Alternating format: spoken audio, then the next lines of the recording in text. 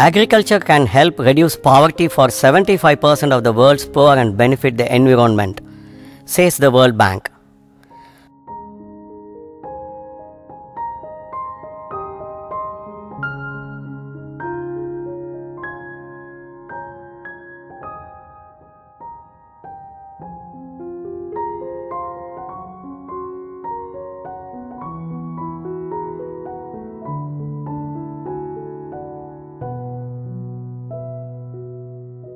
Agriculture is the primary source of livelihood for about 58% of India's population.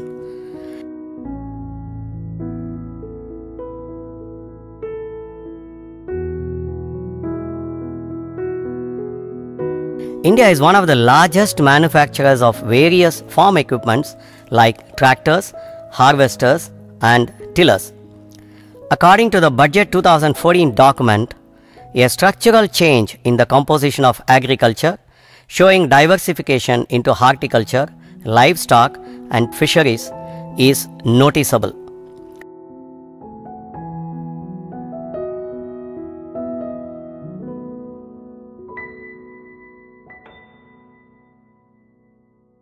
What factors drive growth of Indian agriculture? The sector provides opportunities for investments and growth in several areas like farm management services, agricultural inputs, logistics.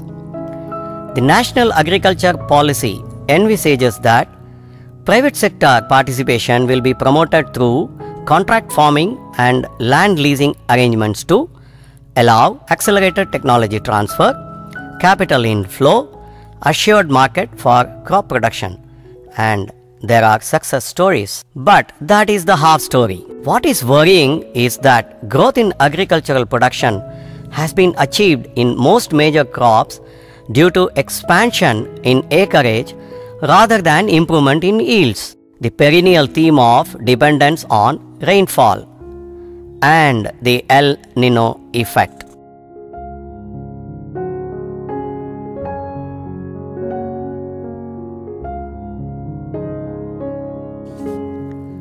If only agriculture could use the just in time concept in the land to hand food supply chain, it is the nature's challenge that science is yet to conquer.